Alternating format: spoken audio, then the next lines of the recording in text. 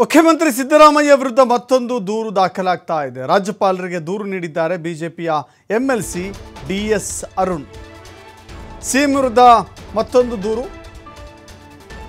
ಪತ್ರದ ಮೂಲಕ ರಾಜ್ಯಪಾಲರಿಗೆ ದೂರು ಕೊಟ್ಟಿದ್ದಾರೆ ಎಂಎಲ್ಸಿ ಅರುಣ್. ಆಡಳಿತ ದುರುಪಯೋಗ ಮಾಡಿ ಹಣಕಾಸು ದುರ್ಬಳಕೆ ಮಾಡಿಕೊಂಡಿರುವಂಥ ಆರೋಪ ಇದು. ಅಧಿಕಾರವನ್ನ ದುರುಪಯೋಗ ಮಾಡಿಕೊಂಡು ಹಣಕಾಸು ದುರ್ಬಳಕೆ ಮಾಡಿಕೊಂಡಿದ್ದಾರೆ ಅಂತ. ಮುಖ್ಯಮಂತ್ರಿ ಸಿದ್ದರಾಮಯ್ಯ ಅವರನ್ನು ವಜಾ ಮಾಡಬೇಕು ಅಂತ ಹೇಳಿ ಆಗ್ರಹ ಮಾಡಿದ್ದಾರೆ ಆ ಪತ್ರದಲ್ಲಿ. ರಾಜ್ಯಪಾಲರಿಗೆ ದೂರು ನೀಡಿದ್ದಾರೆ ವಿಧಾನ ಪರಿಷತ್ತಿನ ಸದಸ್ಯ D S Arun. D S Arun ಅವರು ಆ ಪತ್ರದ ಮುಖೇನ ಮುಖ್ಯಮಂತ್ರಿಗಳು ಅಧಿಕಾರ ದುರುಪಯೋಗ ಮಾಡ್ಕೊಂಡಿದ್ದಾರೆ, ಹಣಕಾಸನ್ನು ಬಳಸ್ಕೊಂಡಿದ್ದಾರೆ ಅಂತ ಹೇಳಿ ಆರೋಪ ಮಾಡಿದ್ದಾರೆ.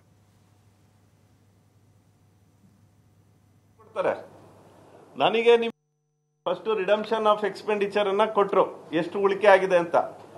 ಆಮೇಲೆ ಅದನ್ನ ಹೆಡ್ ಆಫ್ ಅಕೌಂಟೇ ಚೇಂಜ್ ಮಾಡಿ ರಿಕವರಿ ಆಫ್ ಎಕ್ಸೆಸ್ ಪೇಮೆಂಟ್ ಅಂತ ತಗೊಂಡಿದ್ದಾರೆ.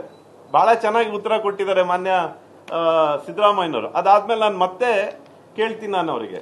ಇದು ನೀವು ಕೊಟ್ಟಿರೋ ತಪ್ಪಿದೆ. ಈ ದುಡ್ಡು ಎಲ್ಲಿದೆ ಅಂತ. ಟ್ರೆಷರಿಗೆ ಏನಾರ ವಾಪಸ್ ಹೋಗಿದೆಯಾ ಅಂತ ಕೇಳಿ ಟ್ರೆಷರಿಗೆ ಒಂದು ಲೆಟರ್ ಬರಿತೀನಿ. ಟ್ರೆಷರಿಲೂ ಈ ದುಡ್ಡು ಜಮಾ ಆಗಿಲ್ಲ. ಸಾವಿರದ ನಾನ್ನೂರ ತೊಂಬತ್ನಾಲ್ಕು ಕೋಟಿ ಜಮಾ ಆಗಿಲ್ಲ. ಆ ದುಡ್ಡು ಎಲ್ಲಿದೆ ಅಂತ ಇಲ್ಲಿವರೆಗೂ ನನಗೆ ಉತ್ತರ ಕೊಟ್ಟಿಲ್ಲ. ಸಾವಿರದ ನಾನ್ನೂರ ತೊಂಬತ್ನಾಲ್ಕು ಕೋಟಿ ಟಿ ಪಿದು ಐನೂರ ತೊಂಬತ್ತೈದು ಕೋಟಿ ಝೆಡ್ ಪಿದು ಮತ್ತು ಇನ್ನೊಂದು ಉತ್ತರ ಕೊಟ್ಟಿದ್ದಾರೆ, ನಿಗಮಗಳಲ್ಲಿ ಇಪ್ಪತ್ತೆರಡು ಇಪ್ಪತ್ತ್ ಮೂರಕ್ಕೆ ಅನ್ಸ್ಪೆಂಟ್ ಅಂದರೆ ಬಳಕೆ ಆಗದ ಮೊತ್ತ ಏನಿದೆಯಲ್ಲ, ಆ ಬಳಕೆ ಆಗದ ಮೊತ್ತ ಒಂದು ರೂಪಾಯಿನೂ ಇಲ್ಲ ಅಂತ ಕೊಡ್ತಾರೆ. ನನಗೆ ನಿಮಗೆ ಗೊತ್ತಿದೆ, ಯಾವುದೇ ಒಂದು ಸರ್ಕಾರ ನಿಗಮಗಳಲ್ಲಿ ಅದು ತುಂಬಾ ದುಡ್ಡು ಉಳಿಕೆ ಆಗಿರುತ್ತೆ. ಬಳಕೆ ಆಗಿರಲ್ಲ, ತುಂಬಾ ದುಡ್ಡು ಉಳಿಕೆ ಆಗಿರುತ್ತೆ. ಅದನ್ನ ಮುಂದಿನ ವರ್ಷ ಕ್ಯಾರಿ ಫಾರ್ವರ್ಡ್ ಮಾಡ್ತಾರೆ. ಅದಕ್ಕೆ ನನಗೆ ಉತ್ತರ ಕೊಡ್ತಾರೆ. ಈ ರೀತಿ ನಿಗಮದಲ್ಲಿ ಒಂದ್ ರೂಪಾಯಿ ದುಡ್ಡು ಉಳಿದಿಲ್ಲ ಅಂತ ಉತ್ತರ ಕೊಡ್ತಾರೆ.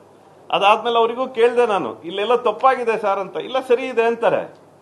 ಸರಿ ಇದೆ ಅಂತಾರೆ. ಅಂದ್ರೆ ನಿಗಮಗಳದೂ ಕೂಡ ಒಂದು ಈ ವಾಲ್ಮೀಕಿ ಮಹರ್ಷಿ ನಿಗಮದ್ದು ಕೂಡ ಇದೆ. ಅಂದ್ರೆ ನಾವು ಅವ್ರಿಗೆ ಕೊಟ್ಟಾದ್ಮೇಲೆ ಆ ನಿಗಮಗಳಿಗೆ ನಮ್ಮ ಸರ್ಕಾರದ ಹಿಡಿತಾನೇ ಇಲ್ಲ.